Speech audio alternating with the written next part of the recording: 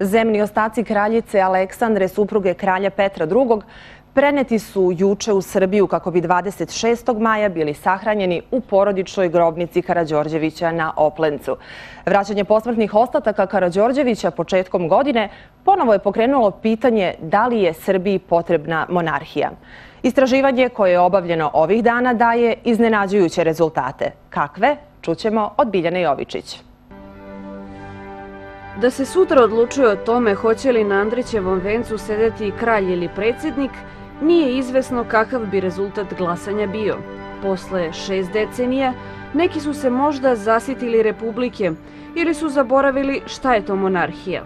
Generalno gledano, raspoloženje u Srbiji je više za monarhiju nego što je protiv monarhije.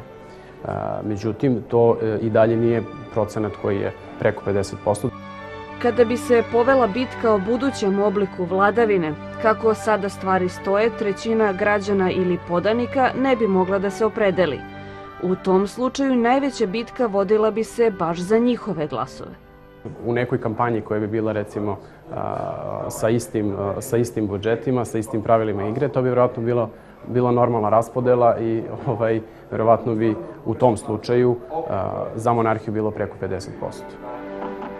Rezultati istraživanja pokazuju da je tipičan monarhista čovek srednjeg obrazovanja, bez zaposlenja i živi u gradu, dok je protivnik kralja visoko obrazovan i verovatno penzioner, što je i logično ako imamo u vidu da se deo današnjih penzionera već jednom odlučivao o tom pitanju.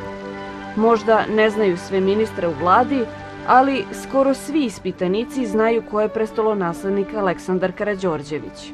Ono što je, naj, naj, što, je, što je prepoznato na najbolji mogući način jeste njegov humanitarni rad i njegov rad na stipendiranju đaka i studenta. A ono što je negativno, gde vlada da kažem, možemo da zaključimo opšte mišljenje, jeste da ono što je loše jeste nepoznavanje srpskog jezika. Istoričari kažu da nije neobično interesovanje kao ni nešto drugačiji stav prema monarhiji u poslednjih 20 godina. Osim što su neke zabrane ukinute i kraljevska porodica uz odgovarajući ceremonijel vraćena u zemlju, ponovo se otkriva sve ono o čemu se nije dovoljno govorilo poslednjih decenija. Monarhija je stvar srpske tradicije i srpske kulture. Šta bi dali drugi narodi na novim prostorima da imaju ne samo dve, nego jednu dinastiju, da imaju svoje dvorce i tako dalje. Istoričari kažu i da je monarhija danas posebno interesantna jer, iako je suspendovana na izborima, nije bilo pravog referendumskog pitanja, a atmosfera je bila revolucionarna.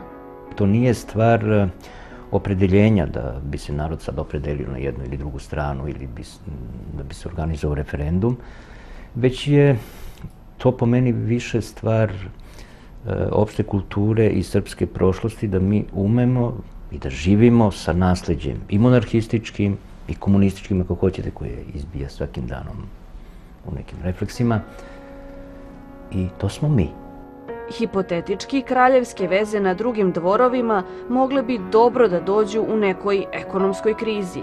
Međutim, ono što bi spoticalo nekoga ko bi želeo da se domogne srpske krune je to što ni jedna bivša monarhija u Evropi nije ponovo uspostavljena.